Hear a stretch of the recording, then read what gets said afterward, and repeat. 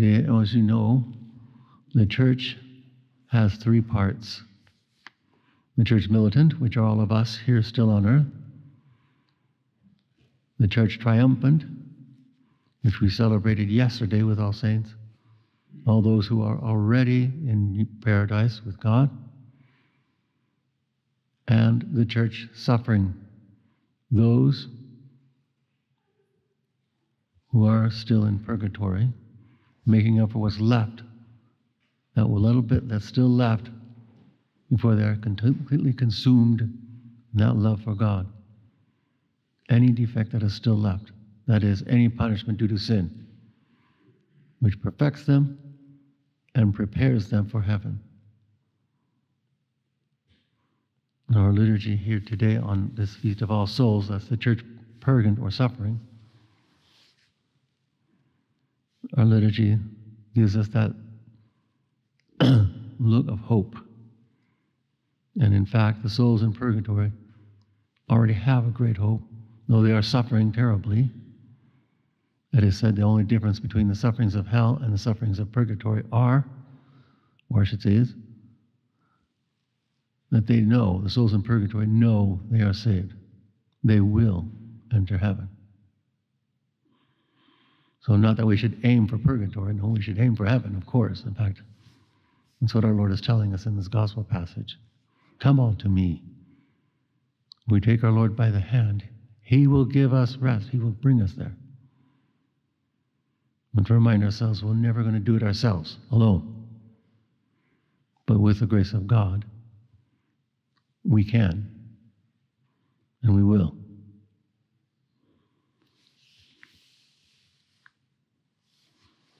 Then he goes on to say, Take my yoke upon you, my burden.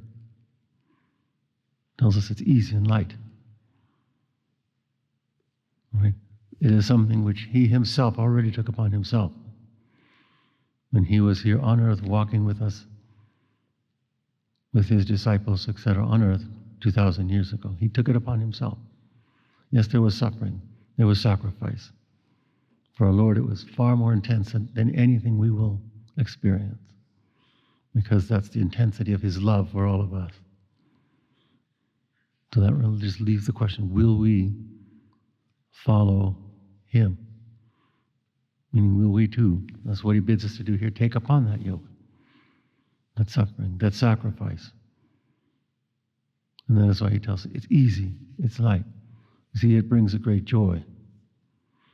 It brings a great hope because it brings us closer to God. It helps us unite ourselves with Him. And that is the very goal we have here on earth. That's why we're here to unite with God. And there is nothing better than to be united with God. Because only God is fullness of happiness, only God is eternal. There only can we find full of, uh, fullness of happiness. and that's what he bids us do. Take that upon ourselves, what he took upon himself already. And we will find, well, we will realize that hope. We will find eternal fullness of happiness. And that's why we today we recommend ourselves to the souls in purgatory who still are suffering intensely. And they have shown us you know, on many occasions where they have appeared to you know, saints, but people, and they have left the marks of their suffering on, say, cloth or a piece of wood, whatever, or a book. I've seen such examples when I was in Formation Italy. You've seen the burn marks of their hands. They are suffering intensely in purgatory, far more intense than anything we suffer here. They need our help, our prayers, to be relieved of that as soon as possible.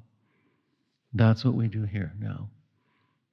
Nick, that would include even some of our loved ones who may still be there. We pray for them, we remember them. And they will be eternally grateful to us when they do reach paradise. And they will be praying for us and interceding for us.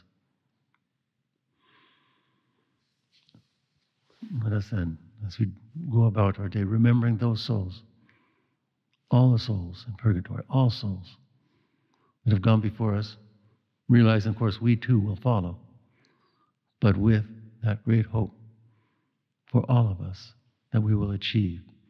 Let us, or let us pray, we will achieve our union with God.